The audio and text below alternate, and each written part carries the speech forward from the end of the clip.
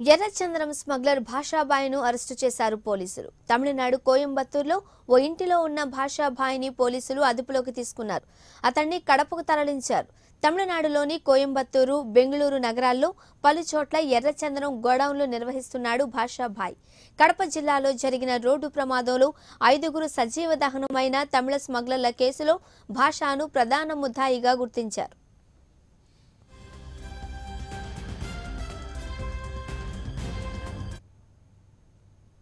ఎర్రచందనాన్ని కోయంబత్తూరు నుంచి కేరళ రాష్ట్రంలోని కొచ్చిన్ పోర్టు ద్వారా విదేశాలకు ఎగుమతి చేస్తూ ఉంటాడు భాషాబాయ్.